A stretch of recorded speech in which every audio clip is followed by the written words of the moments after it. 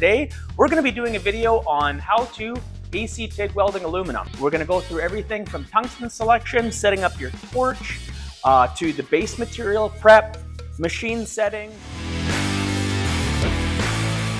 Okay, with that being said, let's go ahead start talking about some machine settings, what they mean, and you know why you're going to adjust them. The machines typically have some default settings that are kind of in that range to get you going, and then you dial them in as you're trying to achieve that weld you're looking for. Other than the basic setting, which any welder, if you're TIG welding, you've probably done some other forms of welding before, is current. We're gonna set the main welding current on the front face of the machine, and then I'll be using a foot pedal today. I really suggest when you're doing any TIGging, get a foot pedal.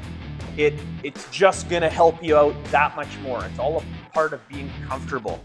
So your main current, that's gonna be pretty easy to understand. If we're doing 1 8 material, I'm gonna set that machine to about 180 amps, which may be a little bit above where I'm actually welding. And then that foot pedal, I'm gonna dial in the current because I'm gonna ramp up high to get my puddle started.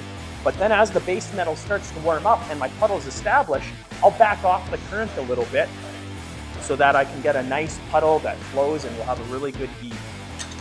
Um, one of the other settings you're gonna see come up on here is pre-gas. What pre-gas is, is the amount of time between when you initiate an arc start on the machine, it's gonna flow gas through your torch and then the arc will start. And that's to ensure that you have argon. In this case, for welding aluminum, we're using 100% pure argon. It's gonna ensure that when that arc fires and starts, it's doing it inside the shielding gas, in an inert environment. So one of the things I suggest, if you haven't used machine in a while, before you even start an arc, hold your torch away, strike it, listen for some gas flow, and purge any atmosphere out of your torch sleeve. So pre-gas, I was doing some reading, it's typically around a third of a second. If you have purged your torch that's gonna be enough. It's gonna get gas flow, the arc's gonna start, and then you're gonna be welding. Some of the other machine settings here, other than pre-gas, which we just talked about, are gonna be the initial starting current, which again, I don't believe you're probably gonna have to play with for now. That starting current is just the amount of current it's gonna take to get that arc fired. If you're welding really thin material or maybe having a hard arc starting, you may wanna turn it up or turn it down depending on what you're doing. The other adjustment the machine has is the current like ramp time, how fast it's gonna go from that arc start current to your actual working current. That is gonna have preset settings. I'll show them to you. The actual flow rate of argon we're gonna be using today, a good rule of thumb is CFH, I believe it is.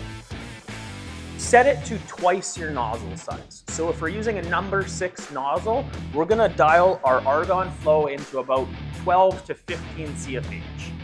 If you're using a smaller nozzle, you need less gas flow. If you're using a large Pyrex cup welding stainless, you're gonna need a ton of gas flow to cover all of that metal and the weld puddle. So again, that's something, two times your nozzle size is a good place to start. The next setting on the machine is gonna be the opposite of your ramp up currents. It's your ramp down currents. We'll show you the demonstration on the user panel here. I'm not convinced I'm gonna play with any of that, but one thing you're gonna wanna know about and probably need to adjust from time to time is post-gas. Post-gas to me is fairly important because it all has to do with not contaminating your tungsten or your part. If your gas shut off right when you stop your current flow, you're gonna still have molten aluminum that then becomes exposed to atmosphere and contaminates. Your tungsten is gonna be glowing red hot and immediately get exposed to atmosphere, which is gonna contaminate it. So post-gas, I think the, I was reading in the manual on this machine is default to two, three seconds. That's really going to be dependent on your base metal and your tungsten size. A smaller tungsten and smaller base material is going to cool down quicker, which needs less post-gas flow to let everything cool down to the point that it won't get contaminated when the gas is removed.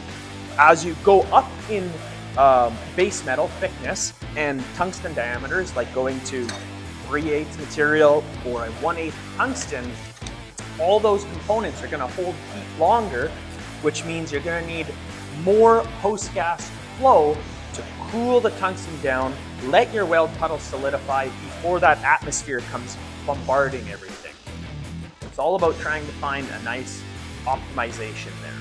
But there's definitely some good settings to get started with. Something this machine can probably help teach you with is it has, you know, smart settings. You can tell it aluminum and the thickness, and it has already preset settings for pre-gas, uh, current ramps, post-gas, frequency, balance. It will do all that in there for you, but that doesn't mean you shouldn't understand the settings yourself. That's been a lot of talking. So I think we're at the point where let's fire this up, power it up. We'll go through the menu on this machine and let's start laying some beads. I wanna get some nice close-ups.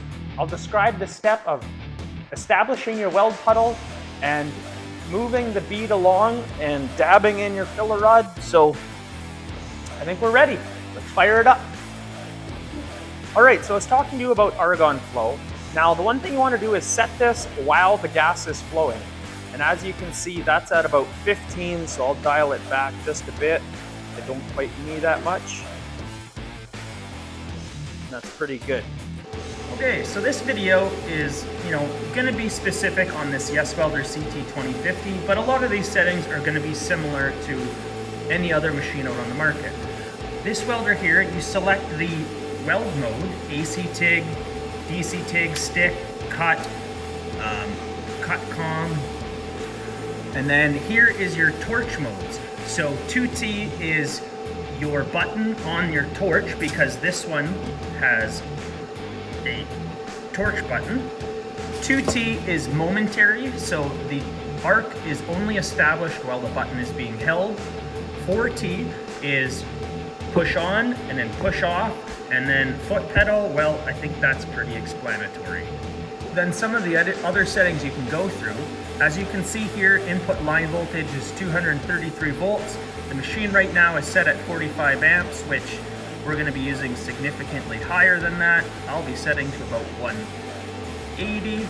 And then if you push the button here, is where we're going to go through the slope down, I stop, post gas, uh, balance, frequency. So we're going to get to pre-gas. So I'm going to leave it set at about half a second starting current is 15 amps. If you are welding really thin material, you may need to lower that. If you're having a hard arc start on materials potentially thicker, oops, I guess it through the menu. Let's get back to I start. You could turn that up. Okay, so here are all the settings the machine has. As we talked about before, we have pre-gas. We can turn that down. We can turn it up. I'm gonna leave it at about half a second because that's a good start.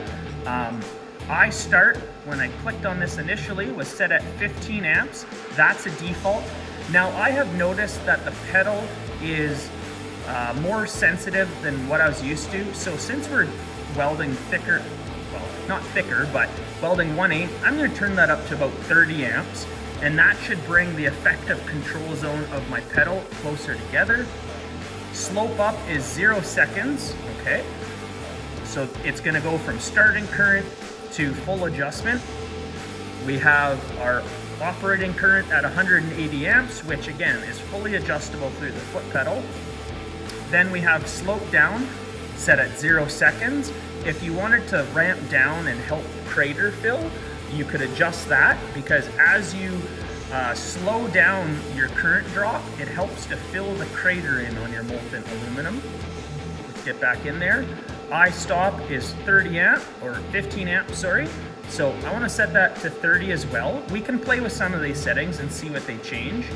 Post gas set to four and a half seconds. I'm gonna leave that there and determine on my own whether or not I have enough gas coverage at the end of my weld um, so that it's not contaminating the tungsten or the aluminum. And we'll go back and adjust post gas if we need to. Right, let's get back into the menu. Balance, as I said, set to 35. Let's turn that down to 30%. I think will be a good start for the clean aluminum we're welding with. And frequency, you know, we'll set to 100. As I said before, 85 to 100 hertz is a really good place to be welding with your typical aluminums. Um, it can go all the way up to 250 hertz, which is absolutely wild. Um, that is a very high frequency. I've never welded at 250 hertz, but I guess there's a need to do it. So, ah, let's get back in here. All right, hertz, let's get that back down to 100. I like 100. And put our current back to 180. So there you go. If you want to go through all the manual settings, that's how you do it on here. You adjust your pre-gas, your starting current, your slopes times, your welding currents, your stop currents, your post-gas, which is an important one in my opinion. Balance is also very important, and frequency is as well, but I find I don't I don't often play with hertz that much.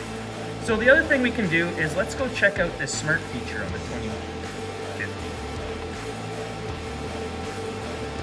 Okay, so to get the smart feature enabled, let's hit AC TIG Smart. That lights up all of our other side of the menu here. So we have everything from 18 gauge, 16 gauge, 14, 1 8, 3 16 And the weld position. If you're welding flat, vertical, or overhead, it's gonna adjust the currents and see, there you go. We're at 3 16ths and it picked up the stop current. Post gas, it did increase as well. Balance is 30, which is good, 85 Hertz. Pre-gas, starting current, and weld currents. And as we cycle through your different weld positions, it goes ahead and adjusts all the parameters to have the optimum weld for the given thickness material and weld position you're welding in. Now, because I've done this for a lot of time, I really just prefer on setting everything myself. But if you're new to it, hit the Smart TIG, let the machine preset the values for you, and then once you get comfortable with the actual process of welding, then go in and start playing with things yourself. Don't let this overwhelm you. It's, it's one of those things, you really just have to get in there and play with it. So I think that covers most of the settings. Again, we're gonna, gonna only be using AC TIG welding in this video. If you wanna go through and see you know, some of the other settings that this machine offers, go ahead, but this is a AC TIG welding video. So I think we pretty much got it set up. Let's go over to the table and get some welding done.